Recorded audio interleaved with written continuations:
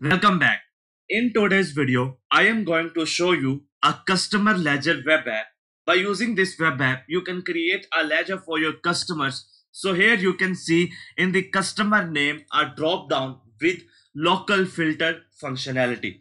Okay, so here I can search uh, for example if i want to search a person a shop name start with 2 i just enter 2 so you can see here the shop 2 is come here. So first of all i am going to check the ledger for the uh, for this person Rameez and you can see when i select the customer name from the drop down the customer number automatically comes here. So it is a read only. So how this comes? So uh, we, i will tell you later in this video so here you can see the ledger for this customer. So uh, the balance is now right now 1530 so if you want to add a transaction for this customer you just click on add transaction. When you click on the add transaction here you can see the 1530 rupees for this customer is the latest balance in the database okay? So here you just uh, select the date. For example today is 3 so you just select the 3 and the transaction type is the credit or the debit.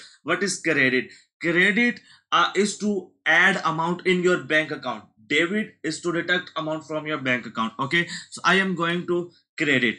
So here i am i i want to credit 1500 rupees. So here you can enter your bank account. Also you can add drop down. You can uh as you can request us to add drop down okay in the comments below okay? So here i am just enter the online transfer so i just click on the add. When i click on the add and you can see here the customer ledger entry is successfully in our database is added. So you can see here. So here when i uh, refresh this uh, for example when i refresh this the customer so you can see the data is come here. Okay? So again if you if you select any other customer for example the avas so you can see no transactions found for this customer. Uh, uh, it will say no transactions found for this customer.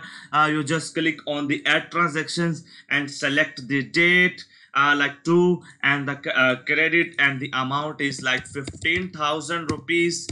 And here you can enter the online transfer.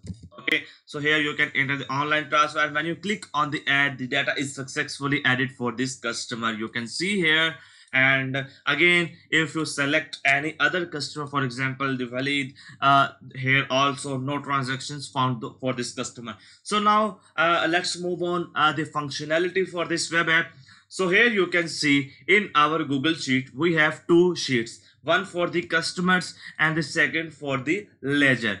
Or the for in customers in a column we add the customer name and customer shop name whatever you want to give here.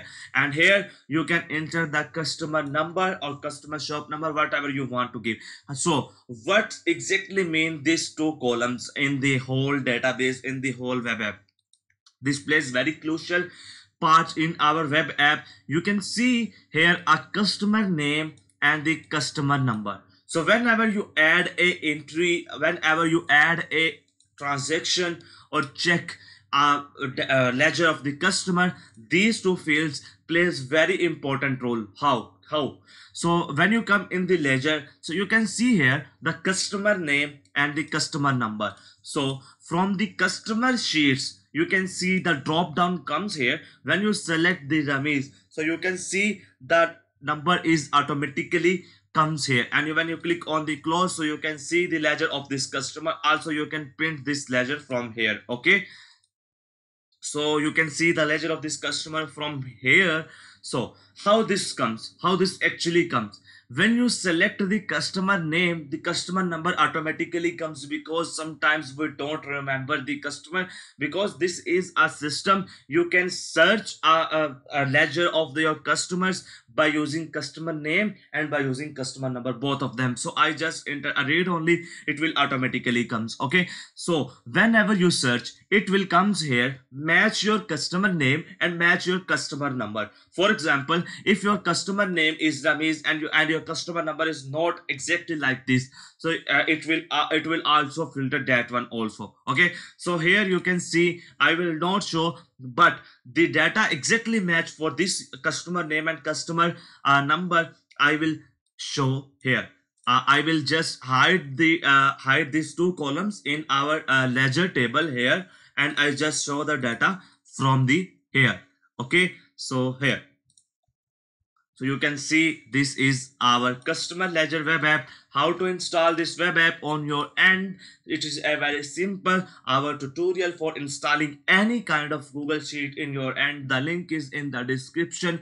You can also check but one thing remember when you receive this video uh, uh, this uh, this google sheet link uh, you will see when you open the link you will see this kind of interference. So you just click on make a copy. Our google sheet is copied in your google drive and you can just go to your extensions click on the app script and you can change your sheet ids and click on the deploy. So your web app is completely ready for your use. So you can create a customer ledger and you can uh, add our records and you can add records of your customer transactions easily so you don't forget uh, in the future. So uh, which date your customers paid you.